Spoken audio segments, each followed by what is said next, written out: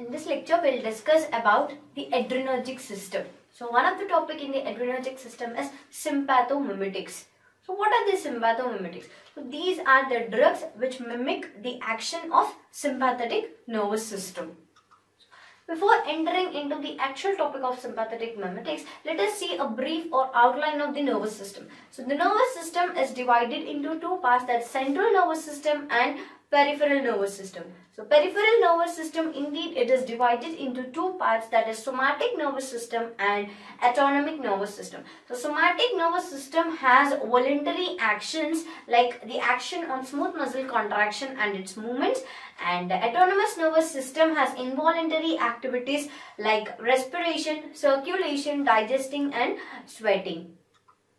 So this autonomic nervous system, it has two sets of neurons because the, ner the nerves which are emerging out of this autonomic system are of two, type, two types. One is afferent nerves and the other one is efferent nerves. So afferent nerves are those which sends impulses to the CNS system. The sense the signals to the CNS system for interpretation or for information. As well as efferent nerves are those which receive the information from the CNS system or they receive information from the brain and they, and they transmit those signals or information to different parts of the body. And for this autonomous nervous system, there are two branches. There are sympathetic nervous system as well as parasympathetic nervous system. These are the two nervous branches which are emerging out of this autonomic nervous system.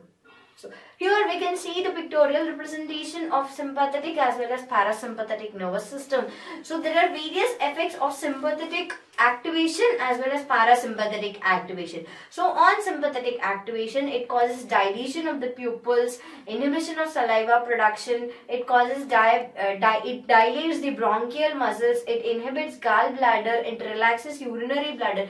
So there are various activities. So there is various effects which are caused because of the sympathetic nervous system. So the effects of this differ from organ to organ. For example if it is acting on the heart it causes increase in the heart rate. If it is acting on the urinary system it causes relaxation of the urinary bladder. If it is acting on the eye it causes dilation of the pupils. So these are few of the effects of sympathetic nervous system Whereas when coming to parasympathetic nervous system, it shows the effects like it constricts the pupil. It's quite opposite to that of the sympathetic nervous system. If it is acting on the heart, it causes decreased heart rate. And if it is acting on the renal system it causes constriction of the urinary bladder. On respiratory system it causes constriction of the bronchial muscles. So it is quite opposite to sympathetic nervous system. And the effects vary from organ to organ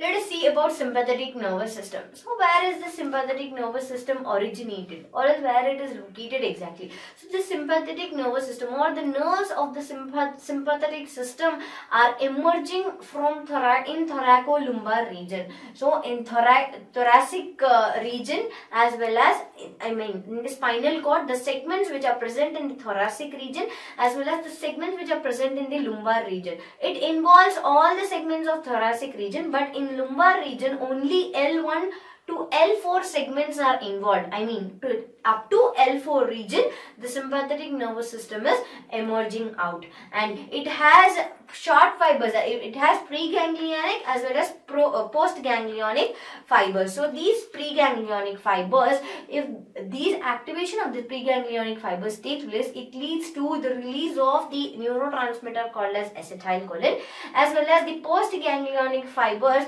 They lead to the if the postganglionic fibers are innervated out of the sympathetic nervous system leads to a neurotransmitter called as norepinephrine.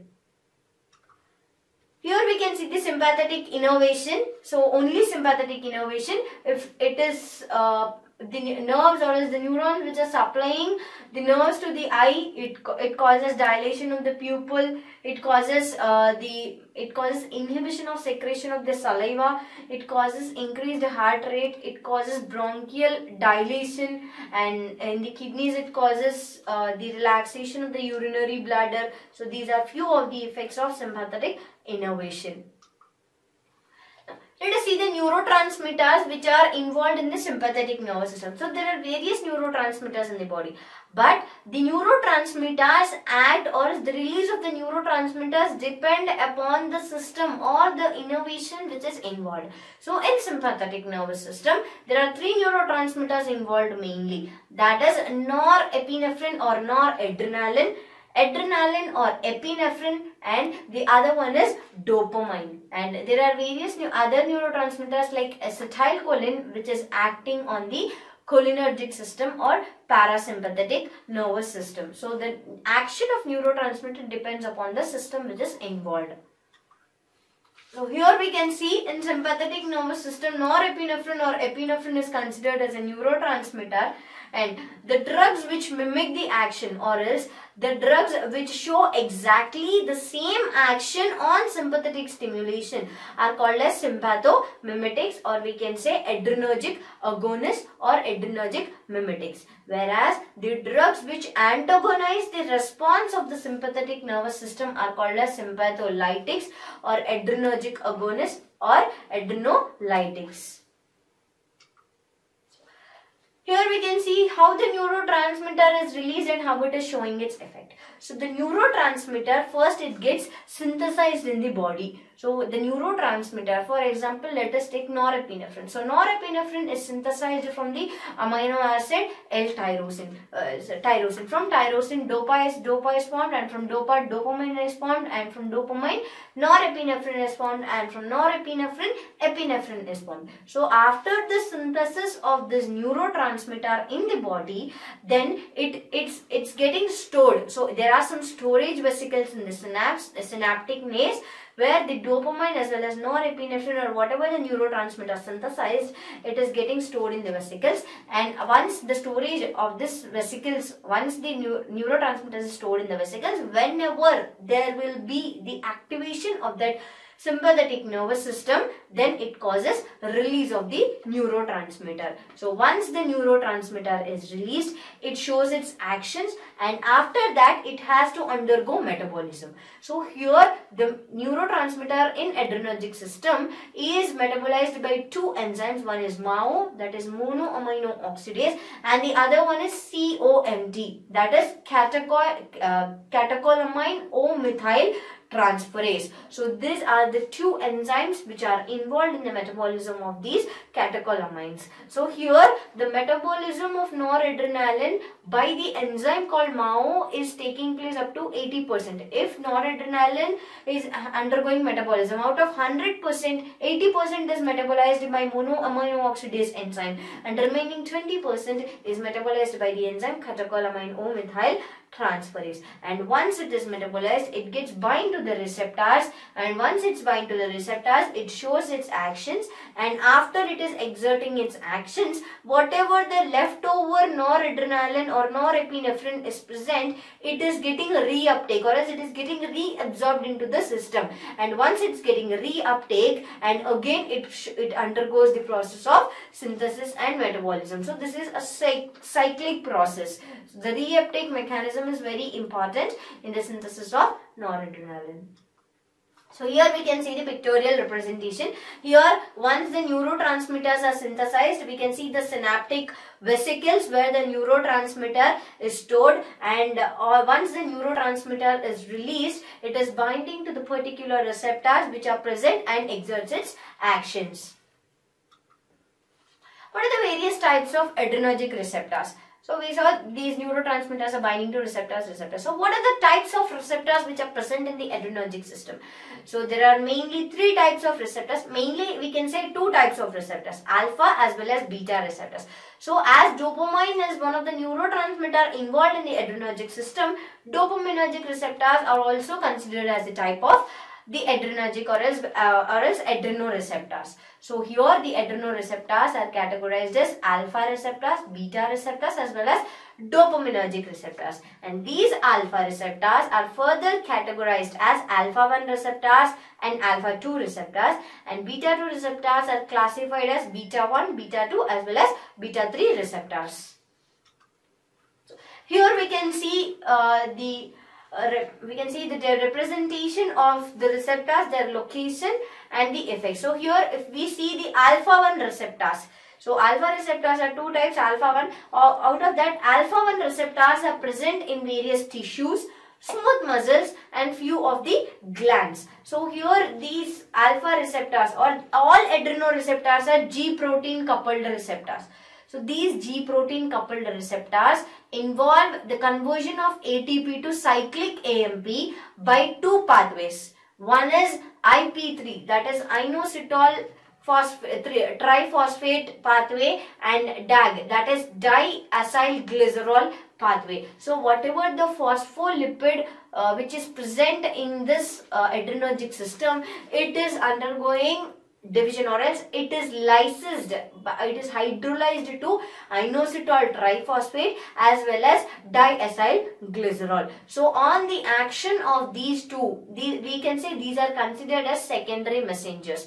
So in the GPCR type of receptors there are two secondary messengers. One is IP3 and the other one is DAG. Because of this cyclic AMP conversion also the new GPCR type of receptor action is going on. So the GPCR type of receptors are further classified as GQ type of receptors, GI type of receptors and GS type of receptor. So the indication of Q, I and S is based on the location of the GPCR type of receptor. So alpha 1 is a GQ type of the mm, G protein coupled receptors and it involves a secondary messenger called IP3 and DAG. So when there is increase in the inositol triphosphate and diacylglycerol secondary messengers then it shows the effects of increased calcium levels. Once the calcium levels are increased in the bloodstream, it causes constriction of the blood vessel or contraction of the blood vessel or a smooth muscle we can say. As these are located in the smooth muscles,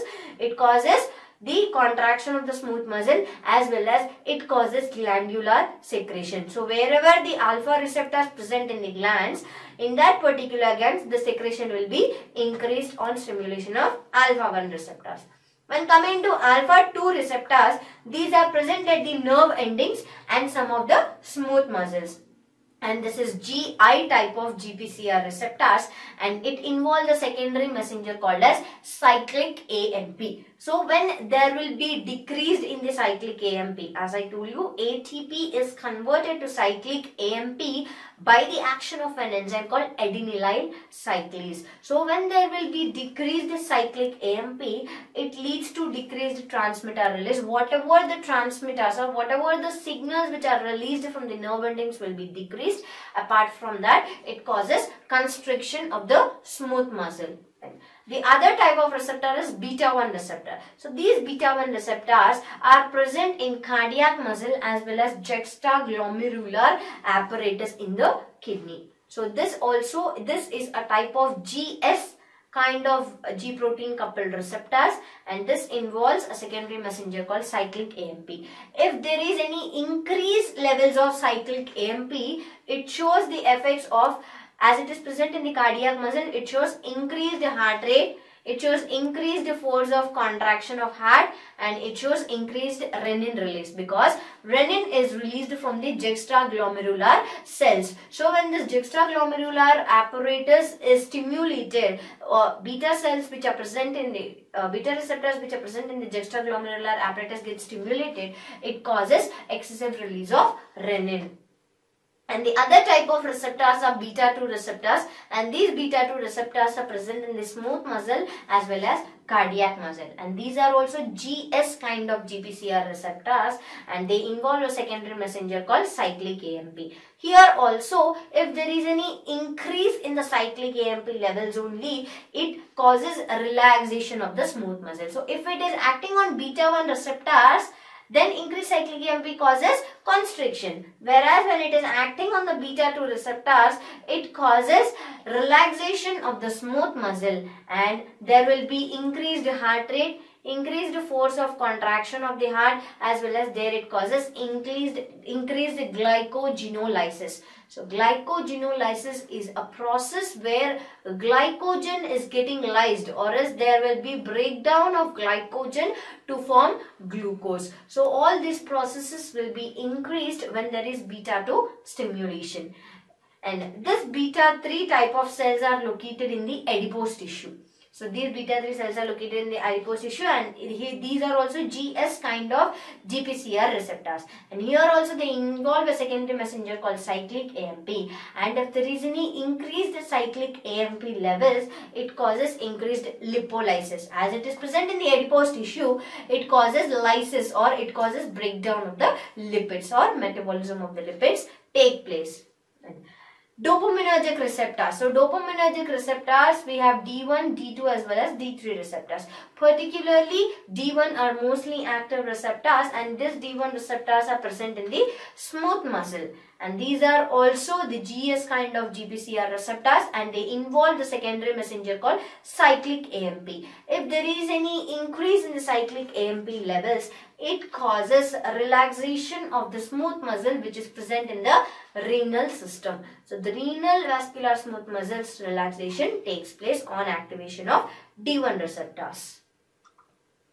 So let us see the classification of adrenergic agonists. So sympathomimetics. So we saw sympathomimetics are the drugs which mimic the action of sympathetic nervous system. So we saw the various actions of sympathetic nervous system. So these drugs they bind to the adrenoreceptors and they show sympathetic act actions or effects. So what are the drugs which are involved or which come under the category of sympathomimetics. So here we have three category of drugs one is directly acting, the other one is indirectly acting and the other one is mixed acting. So what is this directly acting, indirectly acting and mixed acting? So directly acting, these are the drugs which directly go and bind to the receptors and exert their action. Indirectly acting, these are the receptor, these are the drugs which do not bind to the receptor directly but they inhibit the binding of adrenaline or noradrenaline to that receptors and they exert their action, uh, sorry, they they in promote the uh, binding, they uh, promote the affinity of the noradrenaline and adrenaline to the receptors and exert their action and mixed acting. The mixed acting are the drugs which bind to both. They show di both directly as well as indirectly actions. In the sense, these are the drugs which sometimes bind to the receptors directly or else they sometimes they promote the noradrenaline and adrenaline to bind to the receptors to, to, to show their action. So this is one of the classification of adrenergic agonists or sympathomimetics. So the drugs come under this, which, uh, this category are directly acting. It involves drugs like adrenaline or epinephrine, noradrenaline or norepinephrine, salbutamol, isoprenaline, phenylephrine, dobutamine and dopamine. Indirectly acting drug is tyramine. Mixed acting drug is ephedrine, pseudoephedrine, phenylpropanolamine, amphetamine and methamphetamine. This is one classification of drug. But there is another classification also that is non-selective and selective. So this non-selective and selective classification is based on the type of receptors it is binding. For example, if a drug is binding only particularly alpha-1 receptor, there are two receptors, right? Alpha-1 receptor and alpha-2 receptor. If a drug is binding only particularly to alpha-1 receptor, we call that particular drug as selective alpha-1 adrenoagonist. If the drug is binding to both alpha receptors, that is alpha-1 as well as alpha-2, we call that drug, particular drug as non-selective alpha-adrenergic agonist. So let us see the adrenergic agonist, non-selective adrenergic agonist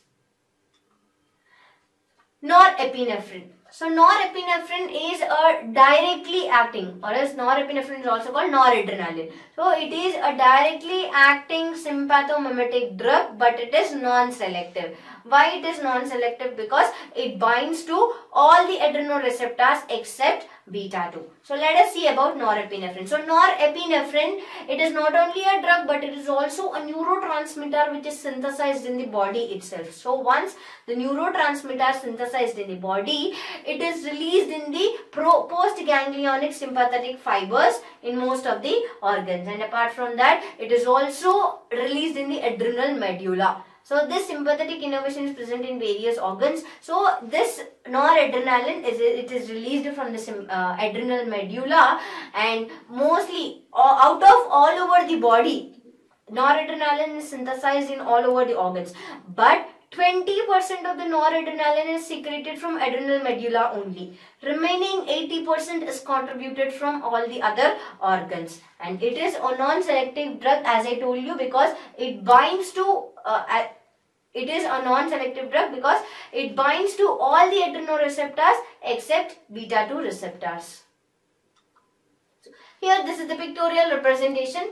So the L-tyrosine, it's an amino acid which on action of the enzyme called tyrosine hydroxylase, it is forming L-dopa. And, and this L-dopa, by the action of an enzyme called dopa decarboxylase, it is forming dopamine. And this dopamine, on the action of dopamine beta hydroxylase, it is forming norepinephrine. Here we can see the norepinephrine once it is released, it is binding to alpha 1, alpha 2 as well as beta receptors also in order to show the sympathetic effect. Here we will see once uh, the neurotransmitters after the synthesis and storage they undergo metabolism right so the metabolism is taken place by the action of two enzymes MAO and COMT so 80% is taking place with the enzyme called MAO. Here we can see the metabolism. So norepinephrine by the action of the enzyme called COMT, it is converted to nor normetaphrine and by the action of monoaminotransferase, it is formed into norepinephrine aldehyde. So this norepinephrine aldehyde is converted to normetaphrine aldehyde and these by the action of an enzyme called alpha uh, aldehyde dehydrogenase it forms two products that is 3,4 dihydroxy mandelic acid. So this normetaphrine aldehyde by the action of an enzyme called aldehyde dehydrogenase it is forming 3,4 hydroxy mandelic acid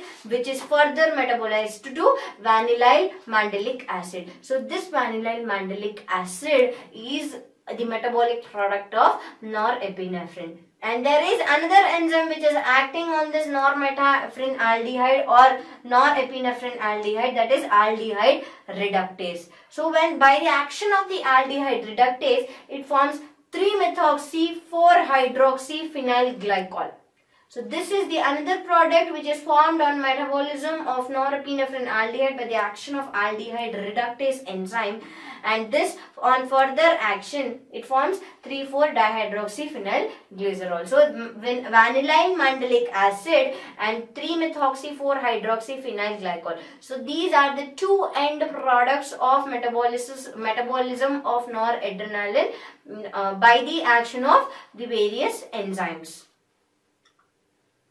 what are the sites of metabolism or where does the metabolism of this norepinephrine takes place. So norepinephrine metabolism mainly takes place at the adrenergic nerves. So in the adrenergic nerves after the storage and after the release, so 80% will takes place by metabolism takes place by the enzyme called MAO and if MAO enzyme is inhibited so there are the drugs which inhibit MAO. If this enzyme is inhibited, then noradrenaline or norepinephrine metabolism is not taking place and it leads to again release of noradrenaline. Because if metabolism won't takes place, then it undergoes for reuptake mechanism. If reuptake, con continuous reuptake mechanism of norepinephrine takes place, it causes release of norepinephrine where it leads to severe adverse effects. And remaining 20% is taken by the COMT. I mean the metabolism of norepinephrine takes place 50, uh, on 20% by the enzyme called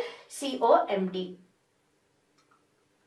Let us see the pharmacokinetics. So what happens once the noradrenaline is entering into the body? So the T half of this noradrenaline, norepinephrine is about 2 to 3 minutes. So once the noradrenaline or norepinephrine, once it is taken into the body, within 2 to 3 minutes, half of the drug is distributed out the uh, distributed and it is available in the bloodstream and it is very short acting drug in the sense it undergoes metabolism very rapidly. It shows its action, it the onset of action of this drug is rapid as well as the metabolism of this drug is also rapid. And this noradrenaline or norepinephrine, when if it is acting in excessive amount as I told it's not getting metabolized then the reuptake will take place it causes release.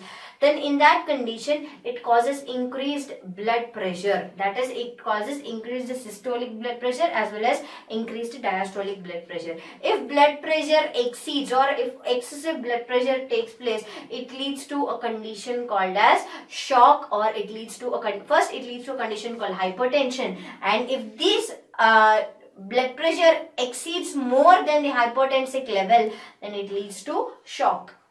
And this norepinephrine is recommended to be administered parenterally only. It's not recommended to be given either orally or intramuscularly. Only parenteral route is administered.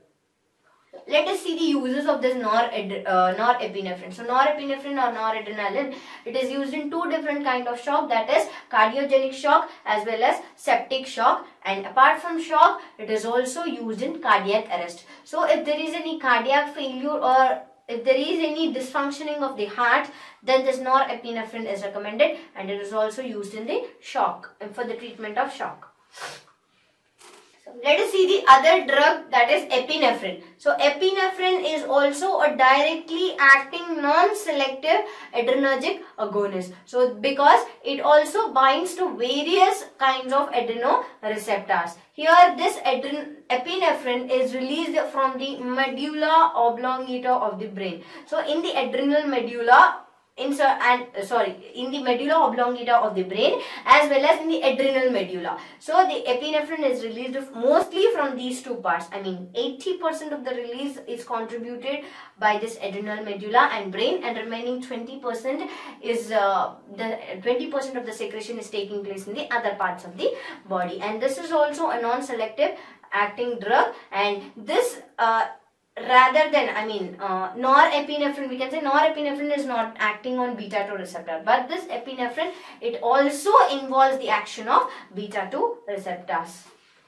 Here in this slide we can see the biosynthesis of epinephrine. So we are seeing the uh, synthesis of norepinephrine from so long slide. So from L-tyrosine dopa is L-dopa is synthesized from L-dopa dopamine from dopamine norepinephrine is synthesized. Here, once the formation of norepinephrine takes place, if the action of an enzyme called phenylethanolamine N-methyl transferase, so phenylmethanolamine N-methyl transferase, if this enzyme acts on uh, norepinephrine, then it leads to a synthesis of epinephrine or adrenaline in the body.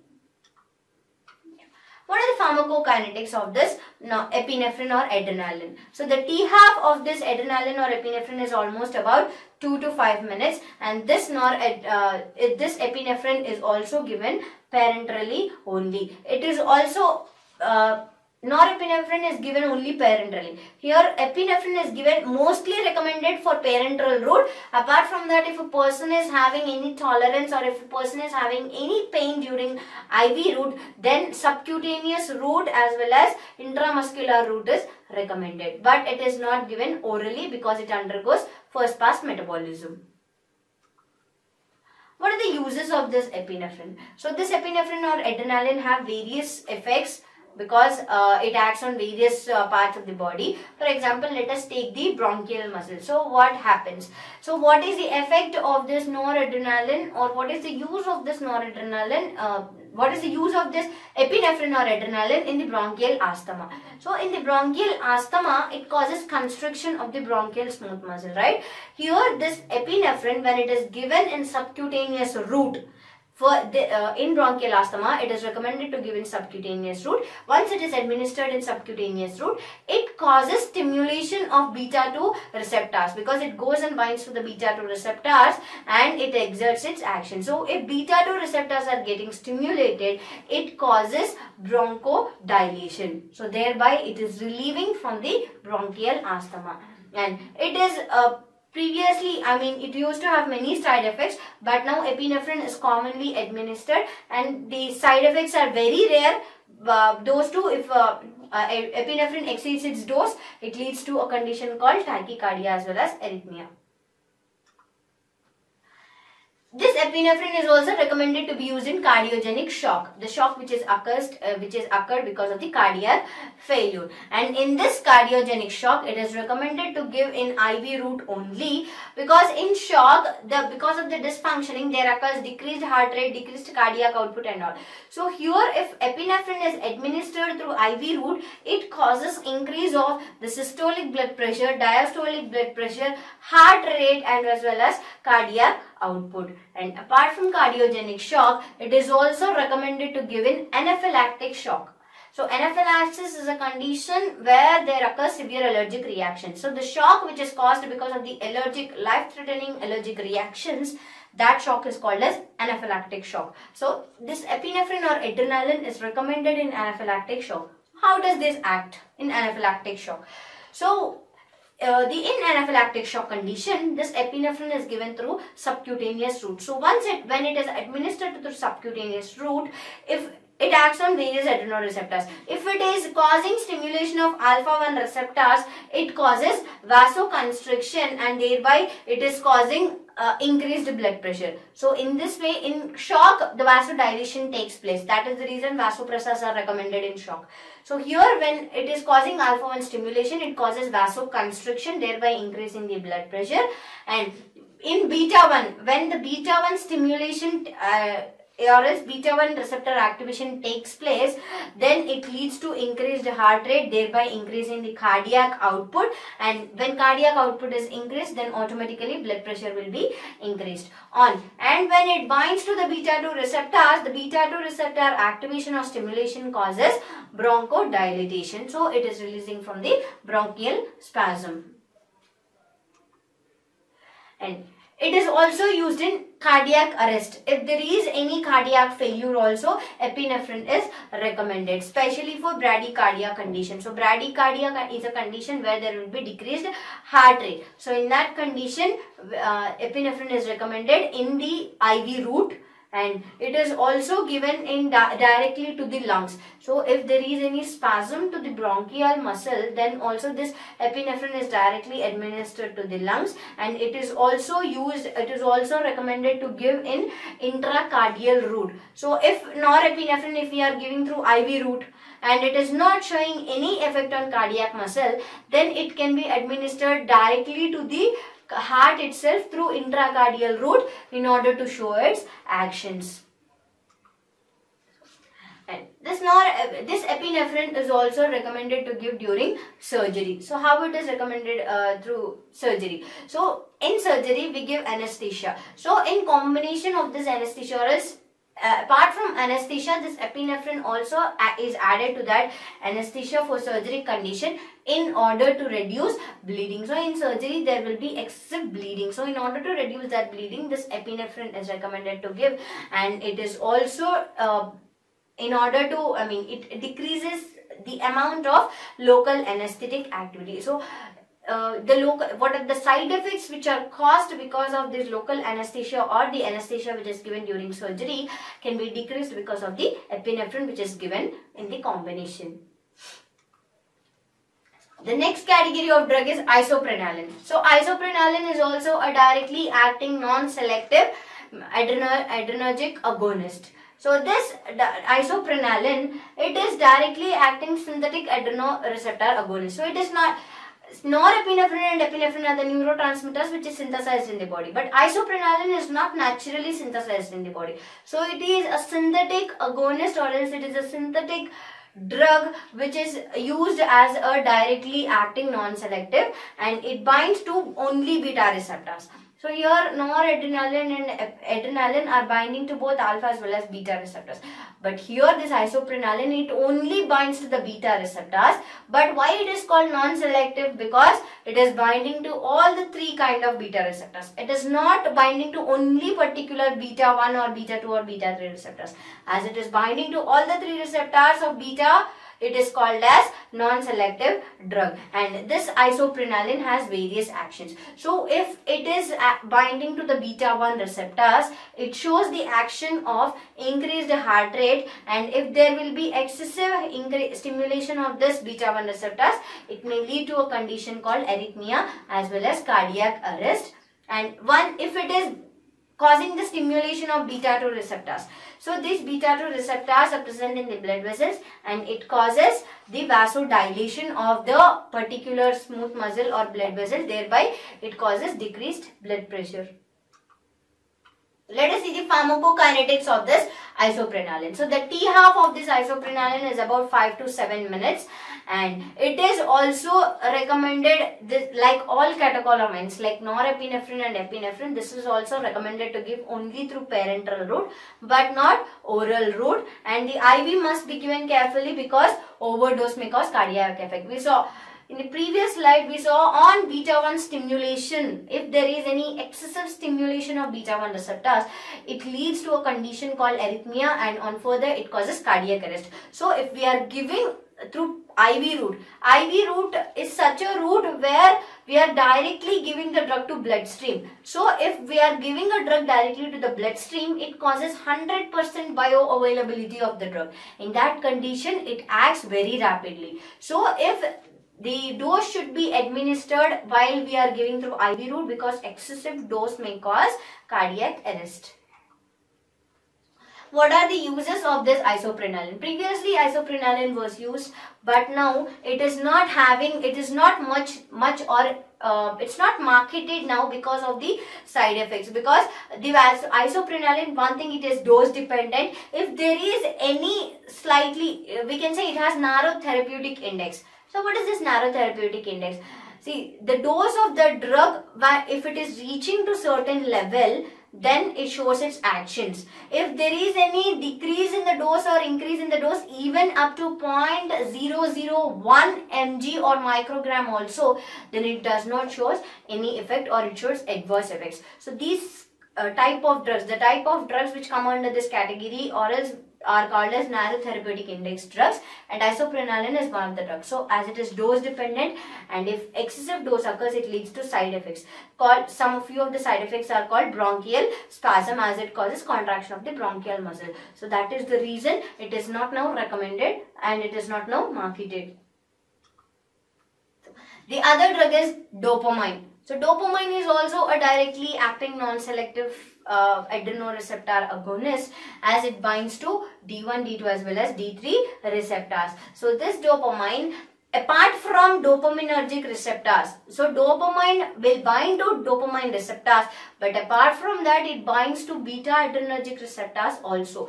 That is the reason it is called as non-selective. What happens if this dopamine binds to beta-1 receptors? So this dopamine, once it binds to the beta-1 receptors or else uh, if it binds to the beta-1 receptors, it causes release of the noradrenaline. So it is not acting directly on beta-1 receptors. It acts directly on dopamine receptors but it acts indirectly on beta 1 receptors. So on the stimulation of this beta 1 receptors it causes release of noradrenaline. So in that way it acts and this dopamine is also recommended to give only through parenteral route and this dopamine it does not cause any tolerance effect. Here we can see the metabolism of dopamine. Dopamine is also metabolized to two enzymes MAO and COMT and on the metabolism of the action or else on the action of the enzyme MAO it forms DOPAC compound and on the action of COMT it forms 3-methyl transferase compound. So when this DOPAC is undergoing the uh, or else when it is when COMT enzyme is acting on DOPAC it forms a compound called HVA that is um, uh, vanillin malic acid and when 3-MT that is 3-methyl transferase when it is acting on the uh, when uh, 3 MAO enzyme is acting on 3-methyl transferase it also forms the common compound. So this is the metabolic end product of dopamine. So let us see the pharmacokinetics. So this dopamine is administered through parenteral route and the T half of this dopamine is about 3 to 5 minutes and the metabolism of this dopamine mainly occurs in the uh, liver only by the uh, action of two enzymes as I told you COMT and MAO.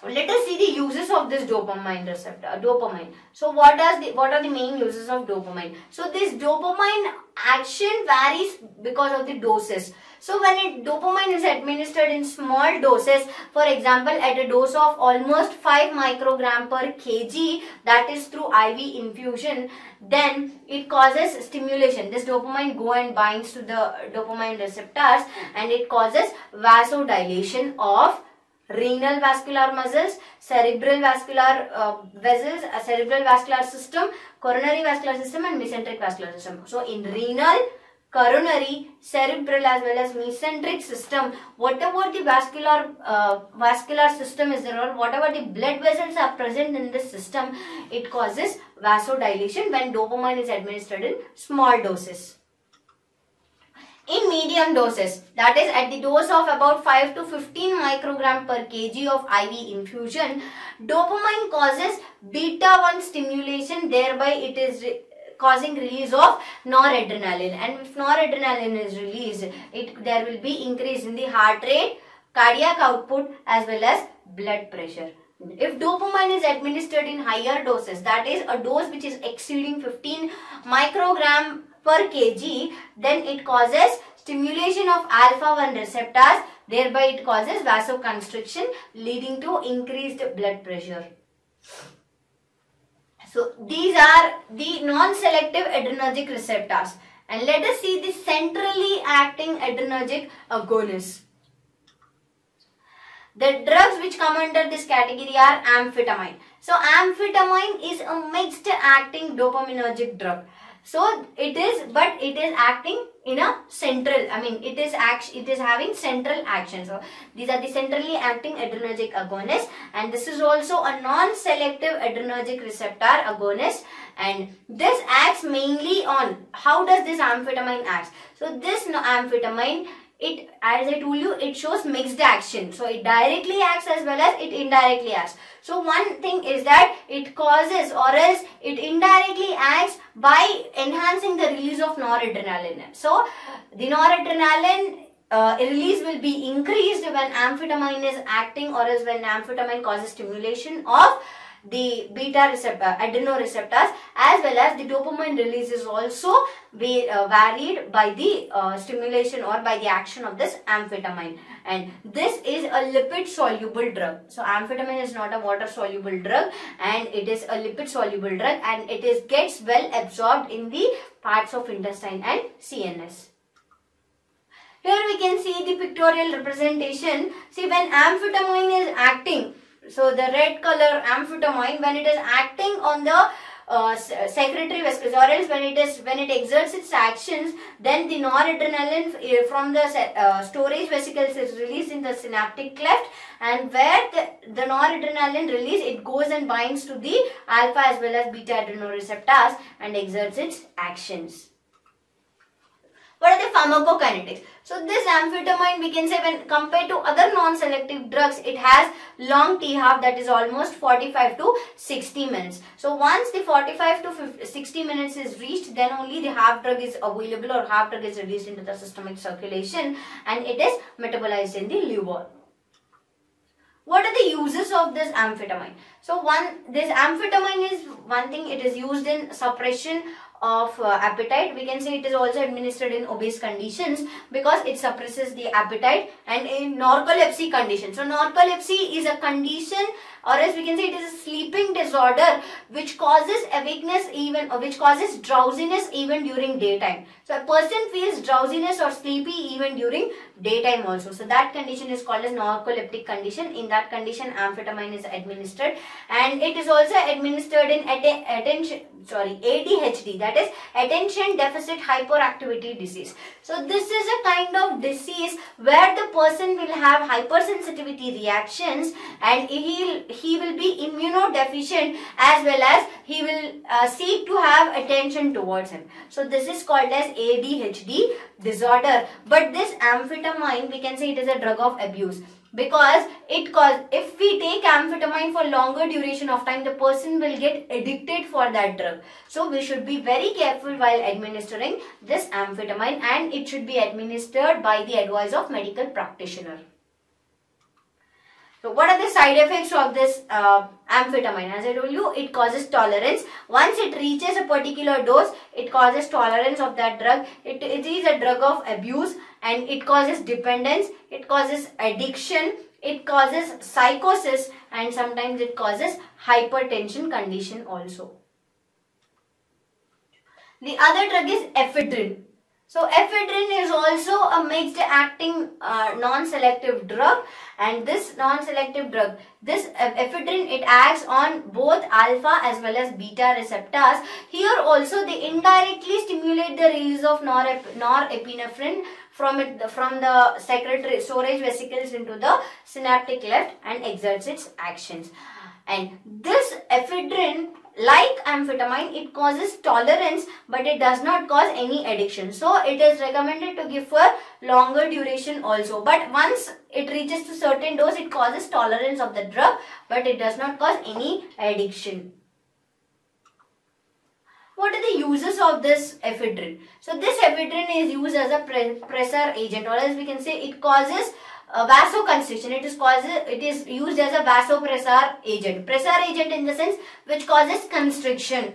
So it causes it creates some pressure leading to the constriction. So it is used as a pressure pressor agent and it it is used as a decongestant and it is uh, previously it is used in bronchial asthma but it is not used in bronchial asthma now because uh, as I told you it is used as a pressor agent. So when it causes constriction, over constriction of the bronchial muscle then it will worsen asthmatic condition. So that is the reason nowadays it is not recommended in bronchial asthma. The other drug is pseudoephedrine. So it pseudoephedrine, the name itself indicates pseudoephedrine. It is like ephedrine but not exactly like ephedrine. But the pharmacological actions of the pseudoephedrine are same as ephedrine. Uh, in the sense when it causes alpha uh, beta and uh, stimulation then it causes constriction of the vascular smooth muscle. So the pharmacological activities or actions of this pseudoephedrine is same as that of ephedrine and like ephedrine, it is not controlled. We can say it is an OTC drug, that is over-counter drug, over-the-counter drug. So it can be taken or else we can directly purchase the drug in the market. There is no need to for this drug to be prescribed. The other drug is phenylpropanolamine. So this is also a mixed acting non-selective drug and this drug is also having similar pharmacological effects that of pseudoephedrine and this the uh, it has a peculiar use apart from pseudoephedrine is that it is used as a decongestant. But this uh, phenyl uh, is not recommended to give in cerebral hemorrhage because it causes synergistic effect.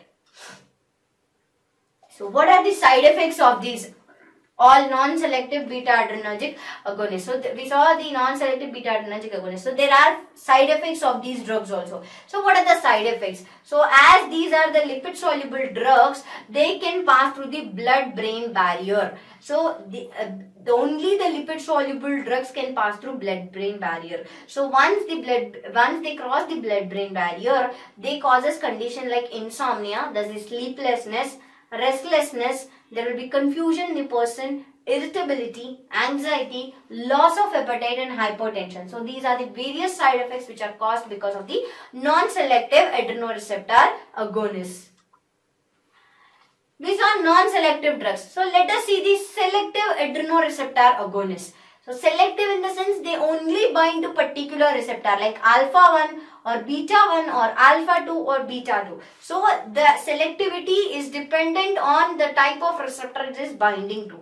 For example, if the drugs like phenylephrine. So phenylephrine is a selective alpha 1 agonist and clonidine. Clonidine is a drug which is a selective alpha 2 agonist and beta 1 selective beta 1 agonist is dobutamine. Salbutamol is selective beta 2 agonist and uh, is also one of the drug which is a selective beta 2 agonist. Let us see in detail about all these drugs. So phenylephrine. So phenylephrine is one of the drug which is binding particularly to only alpha 1 receptor. So the alpha 1 receptor it goes and binds to the alpha 1 receptors and exerts its actions and this is a directly acting drug. So it directly goes and binds to the alpha 1 receptors and exerts its actions. Let us see the pharmacokinetics of the uh, phenylephrine. So phenylephrine is metabolized by the enzyme called COMT and uh, sorry phenylephrine is not metabolized by COMT because it is not a catecholamine. So COMT the name itself indicates catecholamine O-methyl transferase. So only the catecholamines will be metabolized through COMT like norepinephrine, epinephrine and dopamine because these are the natural catecholamines which are synthesized in the body. As phenylephrine is not an catecholamine, it is not metabolized through the COMT. That is the reason it is having longer duration of action. If a drug is not getting metabolized, then it exerts its action for longer period of time. Let us see the therapeutic uses of this. What are the uses of this phenylephrine? So phenylephrine is mainly used in as a decongestant as well as it is used as a vasopressor agent in the case of hypotension. In, in hypotension condition, it is used to constrict the blood vessels or vascular muscles so, so that to relieve the person from hypotensive condition and it is also used in paroxysmal tachycardia that is when there is any increased heart rate and apart from that it is used in mydriatic condition of the eye. The other drug is clonidine. Clonidine is a alpha 2 selective agonist. So it only binds to the alpha 2 receptors and this clonidine it is mainly used in the treatment of hypertension because this clonidine when it binds to the alpha 2 receptors on stimulation it causes vasodilation. So that is the reason this alpha 2 clonidine is used in the treatment of hypertension. And it is acting it, it acts centrally at presynaptic alpha 2 receptors. These are these all are centrally acting drugs. So the alpha 2 receptors which are present in the centrally which are present centrally at the presynaptic nace then uh, the it goes and binds to that particular alpha 2 receptors directly and exerts its actions.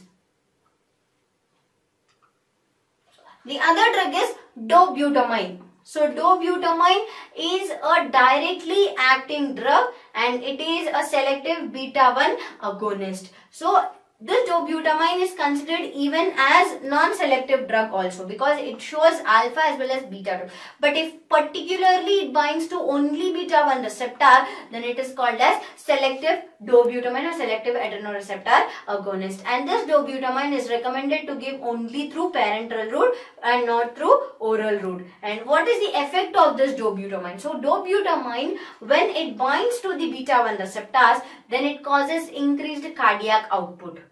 So if cardiac output is increased, it causes increased heart rate and if heart rate is increased, it causes increased blood pressure. And apart from that, it has less arrhythmiogenic effects than dop dopamine. So dopamine on side effect, the side effect of this dopamine is arrhythmia, attack, dis dysarrhythmia. So this dobutamine has lesser uh, side effects when compared to dopamine.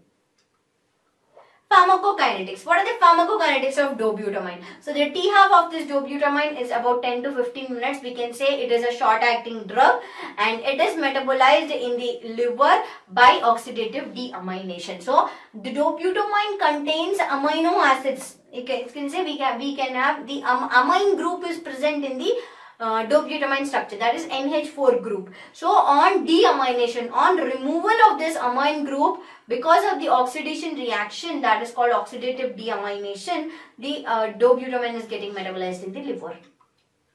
What are the uses of this uh, dobutamine? So dobutamine is used as an inotropic agent.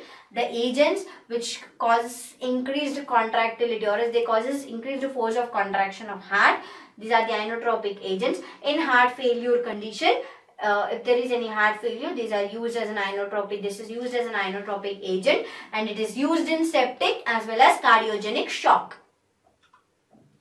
The other drug that is selective beta 2 adrenergic agonist is salbutamol.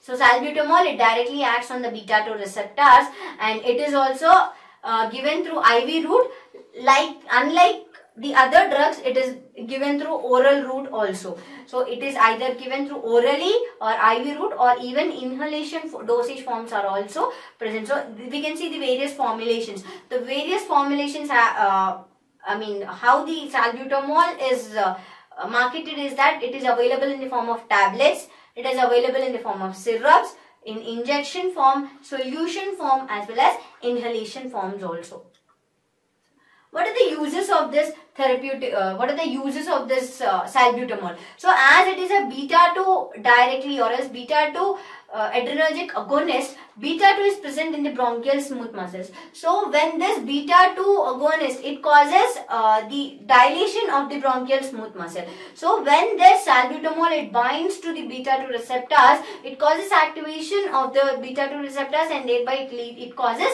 bronchodilation. That is the reason it is recommended to give or else it is recommended to administer in bronchial asthma and it is also used in the treatment of refractory hyperkalemia. Refractory in the sense initial stage. If there is any, uh, if there is increased calcium levels in the body, that condition is called as hyperkalemia. In the initial stages only, salbutamol is used for its treatment. The other drugs are salmeterol and formoterol. So salmeterol and formoterol are also the beta 2 adrenergic selective beta 2 adrenergic agonists.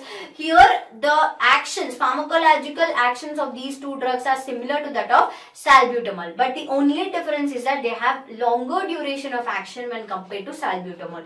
Salbutamol is having 10 to 15 minutes of T half but the T half of these two drugs differ rapidly and these two drugs are also recommended as uh, in bronchial asthma in the form of inhalations.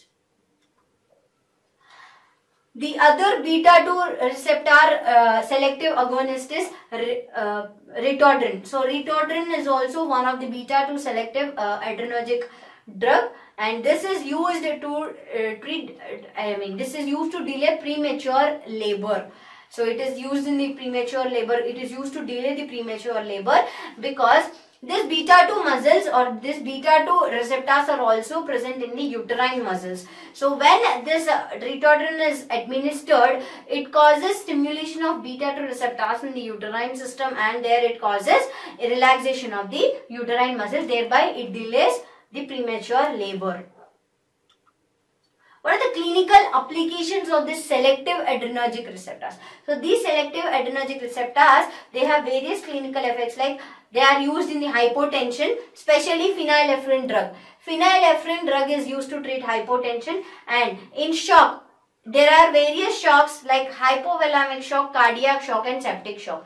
So the drugs like salbutamol, the drugs like uh, dopamine, dobutamine, these are used to treat shock what are the symptoms which are involved in the shock? So in shock, we can see the congestion in the heart, lungs as well as kidneys and it causes bronchoconstriction and hypotension. So in all these conditions, these uh, adrenergic, selective adrenergic agonists are recommended. And the epinephrine, it is administered. Epinephrine is a steroid uh, or else we can say epinephrine is a adrenergic agonist which is administered with steroids and other antihistamine drugs. So why it is administered in addition to these drugs because it causes bronchodilation and it increases the blood pressure and thereby it is used as, as a decongestant also.